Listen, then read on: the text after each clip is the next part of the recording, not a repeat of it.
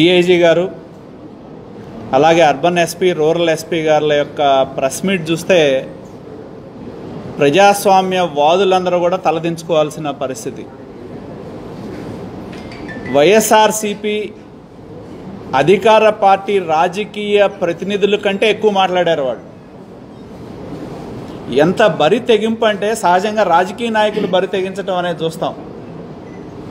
IPS అధికారులుగా ఉన్న ఈ జిల్లాలో శాంతి భద్రతలు కాపాడాల్సిన డిఐజీల దగ్గర నుంచి ఎస్పీల దాకా బరి తెగించి మాట్లాడతామంటే ఇంతకంటే ఇంకొకటి లేదు. మనం స్పష్టంగా మేము కూడా వీడియో వేసి చూపెట్టాం.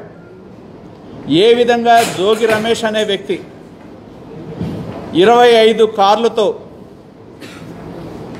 ఏ విధంగా వచ్చాడు కారులతో ఏ విధంగా దిగారు మనుషులు దిగటమే కాదు వైఎస్ఆర్సీపీ పార్టీ జెండాలు పట్టుకొని ఏ విధంగా చంద్రబాబు నాయుడు గారు ఎందుకంటే ఇవాళ మీడియాలో నిన్న ఒక పోలీస్ అధికారులు ముగ్గురు ఒక మాట అంటూ ఉన్నారు. మీడియా తప్పుడు కథనాలు వేస్తూ ఉందని చెప్పి.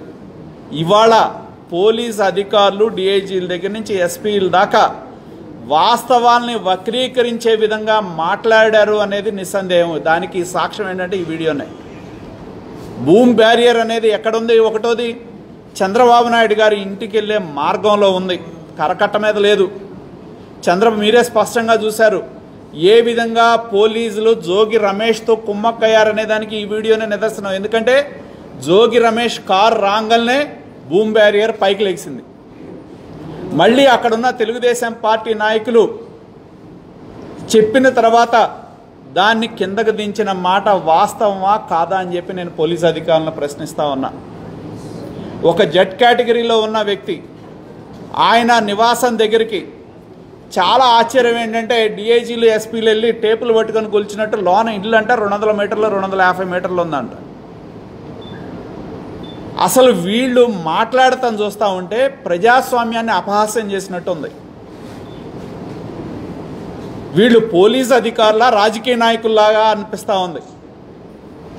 మా ఇన్ని సంవత్సరాల రాజకీయ చరిత్రలో ఇంత బరి తెగించి మాట్లాడిన ఉన్నతాధికారులను మేము ఎప్పుడు చూడలే. ఇందాక మా బాబు చెప్పినట్టు మీ ఒంటి మీద చొక్కా తీసేసి మీరు కూడా ఒక రాజకీయ నాయకుడిగా వైకాపా రంగులేసుకొని వస్తే మాకేం అభ్యంతరం లేదు.